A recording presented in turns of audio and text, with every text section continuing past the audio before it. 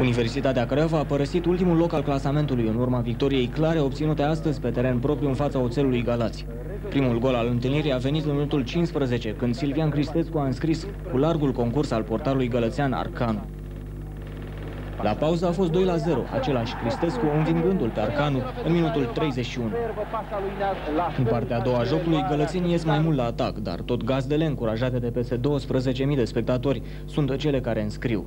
De această dată, Claudiu Niculescu și-a trecut numele pe lista marcatorilor, finalizând un contraatac rapid în minutul 79.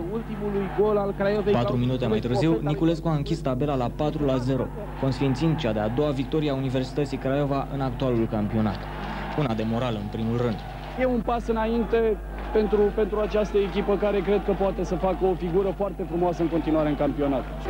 Am venit să jucăm, am jucat cât am putut, probabil că și golul primit Caragios din minutul 15 ne-a creat probleme în continuare. Una peste alta, asta nu diminuează cu nimic victoria superbă, meritat, fără echivoc a echipei gazde, care a jucat mult mai bine și s-a impus fără probleme.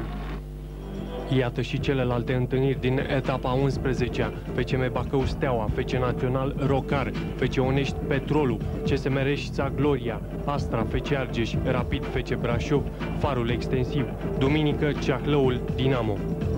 Universitatea Craiova a învins astăzi oțelul cu 4 la 0 cu câte două goluri Cristescu și Claudiu Niculescu. Aceasta este prima victorie în campionat pentru antrenorul Emil Sândoi și a doua pentru Universitatea în 11 etape. Emil, de ce plângi? De bucurie bănuiesc.